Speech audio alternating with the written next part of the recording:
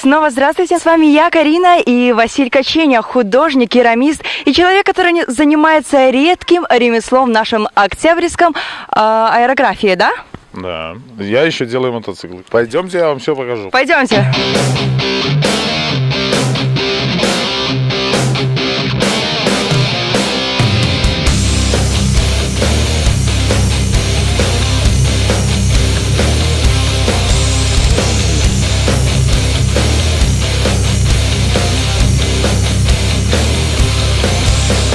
Мы сейчас находимся в тайной мастерской. Это мой друг, брат и напарник Евген. Всем привет. Так, ну вот, в принципе, это и есть аэрограф. Вот, отсюда летит краска. Так, нажимаем, он работает. За... Краска подается при помощи подачи воздуха, компрессор обычный. Аэрографом можно работать на всем, чем угодно. Вот ноутбук. Можно и такой брутальный сделать. А розовый можно? Можно С цветочками? розовый, да. Для девушек, да, можно сделать ну, розовый, но это будет гораздо дороже, потому что я ненавижу такие вещи делать, поэтому мне придется работать из-под палки, поэтому придется платить больше денег. Также мы работаем по коже. Женькина сумка. Кожа, Бобруйский кожаный комбинат. Вот, ну, в принципе, работа моя. Ну, правда, бижутерия вот такая. Это бобруйский э, художник Витя. Он занимается ювелиркой по медилатуне по средневековью. Вау. Я была бы не против такую сумочку в школу. Она такая удобная. А сюда много книг поместится? Ну, школьник... О, э, мне хватит. Навряд ли сегодня школьник э, будет ходить в школу с портфелем за 200 долларов. Сколько? 200. А, Василий, а это что за такой тулуп? Это поддоспешник. В период, когда работал, э, не работал, учился в художественном колледже, вот, занимался военно-исторической реконструкцией. Ну, довольно сейчас распространенное такое движение. Это э, для тех, кто особо не понимает, это на фестивалях, на праздниках какие-то дядьки непонятные, бородатые, э, волосатые выходят, выступают в доспехах, в каких-то средневековых одеяниях. Очень любят людей, очень любят историю, очень не, очень не любят вопросы, когда выходишь там в доспехе и спрашивают, а вы где доспех? В музее взяли?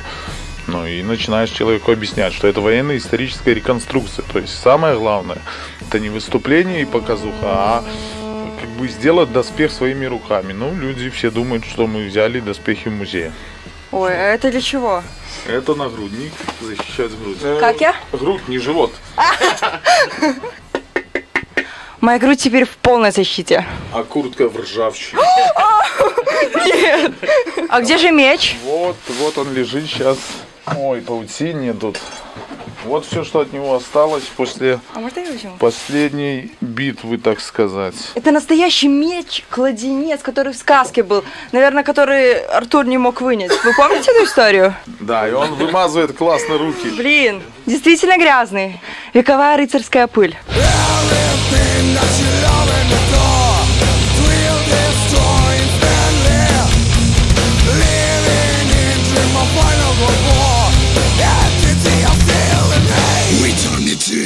Итак, дорогие зрители, сейчас на ваших глазах свершится чудо. Значит, Василий будет брать эту волшебную палочку, и картинка будет оживать, да? Я правильно понимаю? Ну, еще не оживает, но процесс. Я налаживаю тени. Светотень создает объем. Ну, как видите на оригинале, то есть это место темнее, чем остальные, то есть я добавляю туда темный цвет. Ведь у нас весь мир состоит из теней и света, то есть если убрать тень, все будет плоское. Вот, а тень придает объем, поэтому приходится налаживать какие-то тени, выделять какие-то светлые места. Я бы хотела заниматься таким делом, но я не умею. Вы меня научите? Нет, у меня нервов не хватит. Я объяснять не умею, мне придется сразу же ну, жестко очень. А, Евгения, вы умеете аэрографить? Нет, к сожалению, не умею. Нет у меня такого таланта рисовать. Я Василию только помогаю, да. Инженер, механик. Инженерные какие-то решения, подготавливать поверхности и т.д. и т.п. Рисовать, к сожалению, не умею. А, Василий, а кроме аэрографии, чем вы еще увлекаетесь? Мы как бы э, не тюнингуем, не переделываем, как все привыкли называть, а ну, больше реставрируем мотоциклы. На данный момент мы находимся в маленькой мастерской и здесь ничего не покажем. Ну, через, где-то через месяц э, мы с Женей представим выставку аэрографии в октябре, скорее всего, где будет, будут предоставлены работы, то есть э, выполненные все аэрографом. То есть аэрограф это подразумевает, можно расписывать все, что угодно. Начиная от ватмана вот такого формата, ноутбуки, телефоны, мотоциклы, сварочные маски, то есть э, им расписывается абсолютно все. Да, я обязательно приду, посещу эту выставку, и мы сделаем об этом репортаж. А пока Василий трудится на благо его родины, мы под его любимую музыку посмотрим фото из его жизни. Поехали!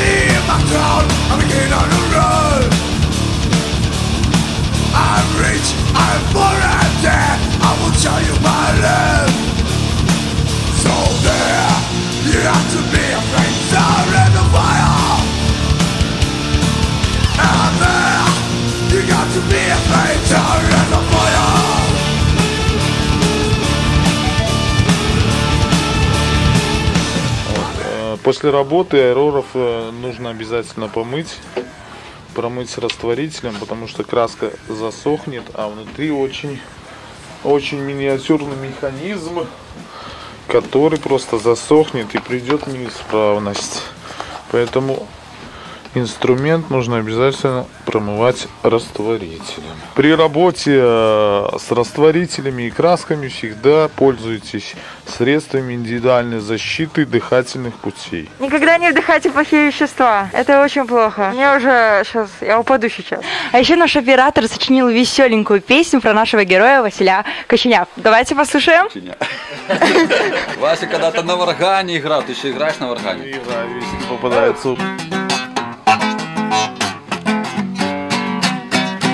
Вася качені зробив дома дві качелі, ми к йому ходим кататься, попить кави да поспрашаться. Вася качені кожний день пече печенье, ён за век собі поснедать, по вечері да пообедать. Ох уж гэты Вася, Вася добрая душа, тому что Вася рыцарь только без коня. Без коня? чамуек, он железный. Вася Каченя винайшов своє учення. Він каже, треба бути хорошим, і що голодає ні гроші. Вася Каченя має буйне значення. Він грає на варгані, шмат малює і співає в твоєму місті.